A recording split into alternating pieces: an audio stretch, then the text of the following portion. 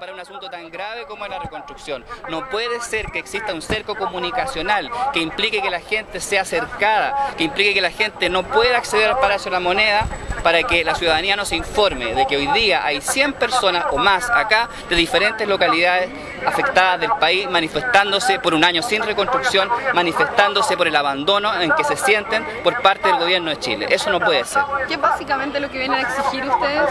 Es un petitorio largo, es un documento de trabajo con propuestas que tienen que ver con reforma a, los planes y políticas públicas de vivienda y de urbanismo. En fin, es una propuesta que se ha discutido con arquitectos, con la comunidad. eh, es un trabajo valiosísimo y lamentablemente estamos en estas condiciones acá, cercados por carabineros, amenazados con ser, con ser detenidos si nos acercamos más al Palacio de la Moneda. Esto no puede ser, esto no tiene nombre. Si el presidente se conduele por, por los damnificados, si el ministro del Interior se conduele por los damnificados, que les respete mínimamente su derecho a la manifestación, ya que el derecho a la vivienda no está siendo ¿De respetado. qué manera van a proceder si no los dejan ingresar a todos? Vamos a ver, vamos a conversar ahora. las inmobiliarias para que reconstruyan los edificios que ellos construyeron en condiciones miserables.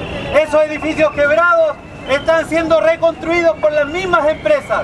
La autoridad está de la mano hoy día con esas empresas. Tanto las financieras, los bancos, las aseguradoras han trabajado para su lucro. No han asegurado el bienestar de la población, aun cuando eso decía la propaganda. ¡Vamos! ¡Vamos! ¡Vamos! Bien, vamos, vamos, vamos.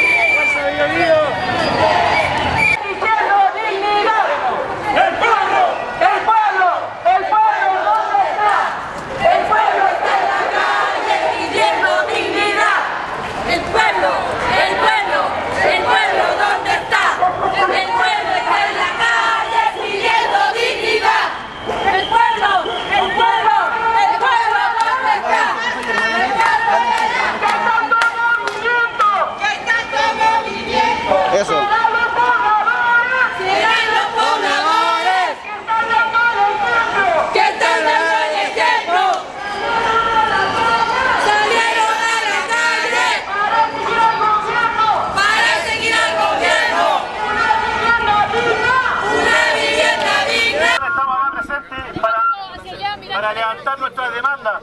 No tenemos vivienda, llevamos un año y seguimos en las mismas condiciones. Necesitamos soluciones lo antes posible. Tenemos a la, a familia de los desaparecidos y hay, hay, hay, hay alguna eh, demanda de parte de ellos de limpiar el río. Tenemos que barrer el río de Constitución, tenemos que buscar, hay compromisos por parte del gobierno de encontrar la, la última víctima y eso no se dio. Hoy día exigimos que el gobierno siga en la búsqueda de esas personas. Son 10 familias que siguen sufriendo.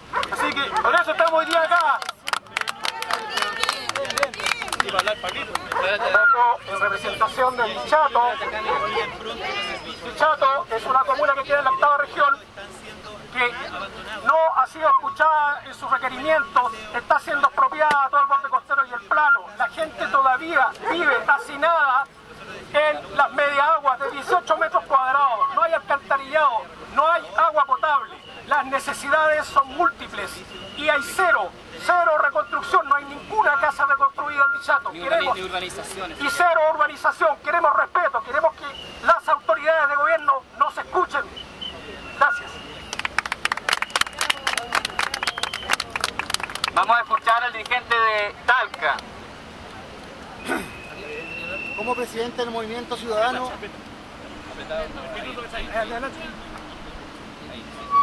como presidente del Movimiento Ciudadano les quiero contar que en Talca la reconstrucción está ajena a todo nuestro vivir. La ciudad se ha reconstruido de la peor manera. Los empresarios han parado sus locales comerciales de fuera de la norma incluso. Pero lo que es vivienda, lo que nos acoge, lo que nos lleva al, al drama de la vivienda, no se ha implementado todavía la vivienda que necesitamos. La política pública es pobre, sin imaginación, sin, sin sensibilidad con las personas que están sufriendo. Hoy día en Talca tenemos una ciudad que se está reconstruyendo de la peor manera, sin imagen. En el casco antiguo se están parando viviendas que corresponden a una tipología totalmente ajena a lo que teníamos como Talca. Hoy día Talca va a ser la peor ciudad que teníamos antes. Chato, el dirigente del campamento del Molino, el campamento más grande del país, con 500 mediaguas sin agua potable. Muchas gracias. Muchas gracias por estar aquí. Pensaba que éramos solos, pero parece que estamos todos en las mismas condiciones. Vamos a luchar hasta el final, compañeros. Tenemos que hacerlo. Tenemos que vivir eh, con dignidad. Que la prensa sepa que nosotros estamos en condiciones paupérrimas en Dichato y en todas las localidades. Dichato necesita reconstrucción. Se ha negado la reconstrucción, no hay reconstrucción. No hay comunicación con los, con, con, con los gobiernos regionales. El gobierno regional, el gobierno central tiene que escucharnos, los parlamentarios, los senadores, toda la gente del, del tema político tiene que estar escuchando las demandas que tenemos. Muchas gracias. Cerro King. Eh, buenas tardes, soy de Cerro Higgins, eh, Cerro Higgins de Constitución. Bueno, la demanda de nosotros ha sido siempre la vivienda, eh, los edificios de nosotros eh, colapsaron, fallecieron ocho personas por una negligencia humana, no fue por el efecto de la naturaleza. Y eso es lo que hemos peleado, y estamos cansados, el gobierno nos miente una y otra vez, llevamos un año con mentiras. Hasta la semana pasada se lo prometía el cielo y la tierra y nada se ha cumplido. Eh, eh, necesitamos también que nos vean el tema de la ficha de protección social, porque estamos todos en unas condiciones pésimas. Así que por favor, señor gobierno, póngase las pilas ya, pues. Ya llevamos un año y no hay nada en constitución ni en ninguna parte. Y para eso estamos acá, para exigir, no para pedir, exigir que se nos construyan nuestras viviendas. Porque es indigno estar viviendo en una mediagua y vamos a tener que pasar un invierno o dos inviernos más. Ya está bueno, basta de cosas. Yo voy a hablar en nombre de los vecinos de la Asamblea de la Villa Olímpica. Quiero comunicar que los informes de daño estructural, que son el primer paso para la reparación de los edificios declarados inhabitables, se han retrasado cuatro meses. Que los informes para reparar las infraestructuras de servicio de estos mismos edificios ni siquiera han comenzado. La gente que vive, los pobladores que viven en los edificios declarados inhabitables con daños estructurales de Villa Olímpica van a pasar un segundo invierno anegándose porque los techos no han sido reparados. Yo quiero decir una sola cosa al presidente Piñera. Por favor, menos show. Por favor, menos falsas condolencias. La mejor manera de condolerse por las víctimas del terremoto es darle subsidios y casa y no hacer giras y llorar por, la, por, los muertos de los damnificados, cuyos familiares viven en Mediagua, sin subsidio, sin agua potable. Por favor, menos condolencias, menos condolencias, más acción y más acción urgente por los damnificados. San Fernando. San Fernando aquí. Aquí estamos. Déjale. Mire, San Fernando ha tenido etapas bien complejas en el servicio que eh, eh, organización ha trabajado muchísimo, pero hasta el momento también se los ha mentido. Primero empezaban el 14 de febrero, empezaban también el 22 de febrero y hasta el día de hoy, hasta este momento que estamos parados frente a la moneda, no hay nada. Y nosotros es solamente reparación de post-terremoto y el, el de, la, de, los departamentos. Eso nomás. Gracias. Villa Futuro.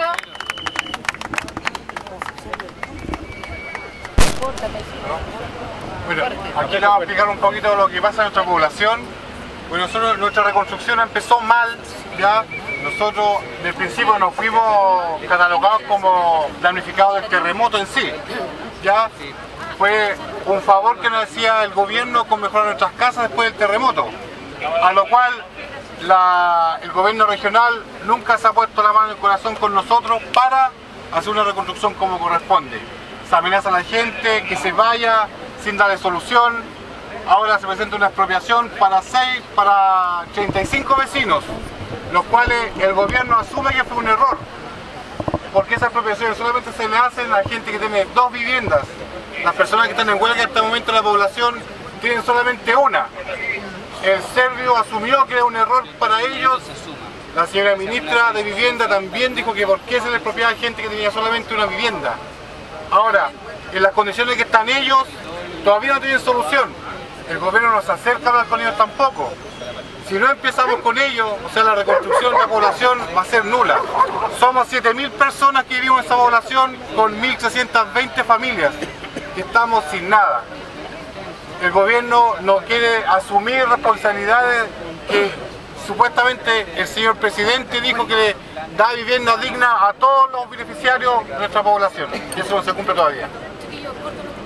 como tuvimos el domingo al frente, al pie de la bandera, apoyando a los damnificados de Chile a nombre de la Federación Nacional de Pobladores.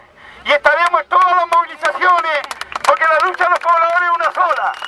Vamos a exigir dignidad a las soluciones. Vamos a exigir que este gobierno se deje de show. Vamos a pedir la renuncia de ese intendente que le está mintiendo a los pobladores de la octava región. Y estamos diciendo, cuente con la Federación Nacional de Pobladores, instrumento de lucha por la dignidad de todos. Gracias, compañeros.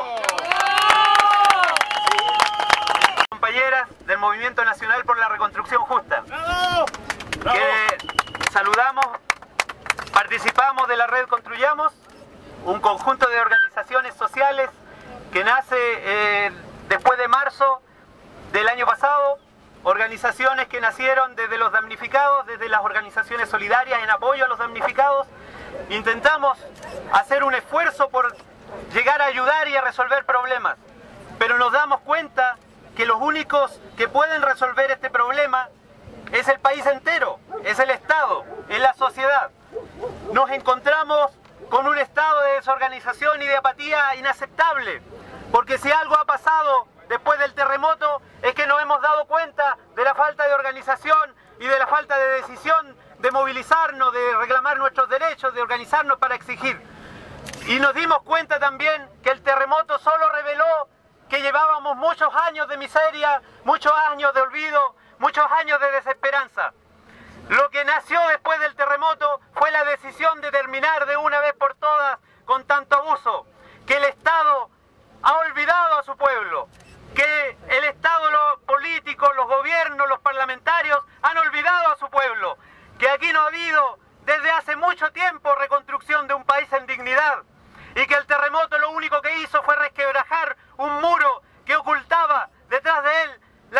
la explotación, el robo al país por parte de las grandes empresas.